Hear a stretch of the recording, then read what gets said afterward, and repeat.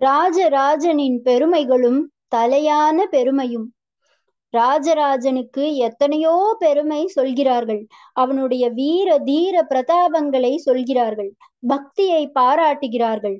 கோவிலுக்காகவும் மூர்த்திகளுக்காகவும் ஆபரணாதிகளுக்காகவும் நித்திய நைமித்திக வழிபாடுகளுக்காகவும் சிப்பந்திகளுக்காகவும் கலைஞர்களுக்காகவும் அவன் வாரி வாரி விட்ட ஔதாரியத்தை புகழ்கிறார்கள். இத்தனையையும் ஒரு டீட்டெயில் விடாமல் கல்வெட்டில் பொறித்து வைத்ததை போற்றுகிறார்கள். தான் பரம சாம்பவனாக இரு சாம்பவானாக இருந்தும் பெருமாள் கோவில் ஆஹ் புத்த விகாரம் எல்லாவற்றையும் பேணிய மனோ விஷாலத்தை ஸ்தோத்திரிக்கிறார்கள். அட்மினிஸ்ட்ரேஷனிலும் அபார திறமை காட்டி ராஜ்யத்தை பல பிரிவுகளாக பிரித்து முடியாட்சியிலேயே குடியாட்சியாக ஊர் சபைகளுக்கு நிறைய சுதந்திரம் தந்து அதன் மெம்பர்களை ஜனநாயக குடவோலை தேர்வு முறையில் நியமிக்க பண்ணினதை கொண்டாடுகிறார்கள். நிலங்களை எல்லாம் அளந்து ரெஜிஸ்டர் பண்ணினான்.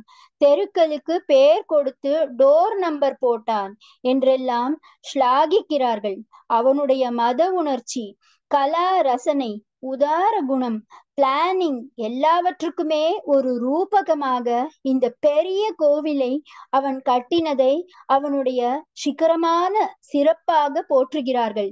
எல்லாம் பெரிசாக பண்ணின அந்த பெரியவன் ராஜராஜனிடம் எனக்கு ரொம்ப பெரிசாக படுவது அவன் ஆடவல்லான் தக்ஷிணமேரு விடங்கன் என்று இரண்டு பேர் வைத்தானே.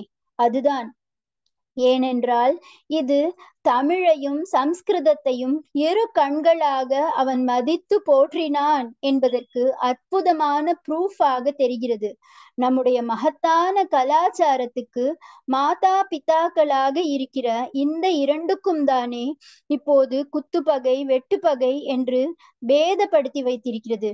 இதை பார்த்து மனஸ் தாங்க முடியாமல் வேதனைப்படுகிற போது ராஜராஜனுக்கு சிலை வைக்கிறார்கள்.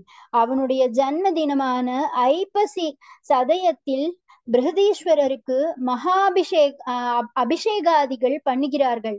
என்றெல்லாம் கேள்விப்பட்டால் உடனே ஒரு ஆஸ்தை நம்பிக்கை உற்சாகம் ஏற்படுகிறது.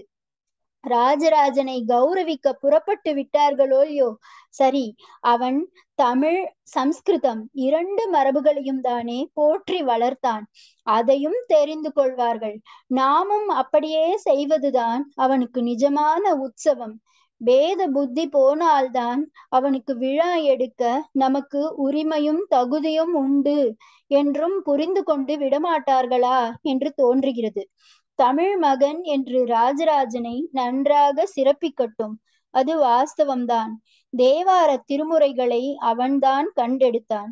அது மட்டும் இல்லாமல் ஈஸ்வர சன்னிதானத்தில் அது பிரதிபூஜா காலத்திலும் ஜீவ சக்தியோடு பிரகாசித்து ஒழித்து கொண்டு எந்நாளும் லோகத்தில் சிரஞ்சீவியாக இருக்கும்படி ஆலயங்களில் ஓதுவா மூர்த்திகளை நியமனம் பண்ணி வழிபாட்டிலேயே ஒரு அங்கமாக திருப்பதிக விண்ணப்பத்தை ஆக்கினான்.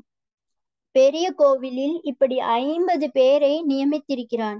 ஆனபடியால் தமிழ் பண்பாட்டுக்கு புத்துயிர் தந்தவன் என்று அவனை விசேஷிக்க சகல நியாயமும் உண்டு. ஆனால் இதை மட்டும் சொன்னால் ஒன் சைடட் தான் ஒரு தலை பட்சம்தான். சம்ஸ்கிருதத்துக்கும் வேத வைதிக ஆகம சம்பிரதாயங்களுக்கும் அவன் அளவிலாத மதிப்புணர்ச்சியோடு தொண்டு செய்திருப்பதையும் சேர்த்து சொன்னால்தான் அவனுக்கு பூர்ண நியாயம் பண்ணிவன் பண்ணினவர்களாவோம். ஆலய நிர்மாணம் பூஜை உற்சவம் எல்லாம் சாஸ்திர சம்பிரதாயப்படியேதான் அவன் ஏற்பாடு பண்ணினான். மூலஸ்தானத்துக்கு நர்மதா பானலிங்கம் தான் என்ற சாஸ்திர விதிக்கு கட்டுப்பட்டு ராஜ்ய காரியம் எல்லாவற்றையும் விட்டுவிட்டு அறுபா நான்கு வேளாண் செட்டி என்ற அறுபத்து நாலு பேர் பேரோடு கூட அவன் எத்தனையோ நூறு மைல்கள் போய் நர்மதையில் இத்தனாம் பெரிய லிங்கத்தை கண்டு இவ்வளவு தூரம் தூக்கி கொண்டு வந்தான் என்று தெரிகிறது. கோவிலிலே அநேக கல்வெட்டுக்களை பொறித்த போது முதல் கல்வெட்டை ஏதத் விஸ்வ வினு வினிரூப ஸ்ரேணி மௌலி என்று சம்ஸ்கிருதத்திலேயே ஆரம்பித்திருக்கிறான்.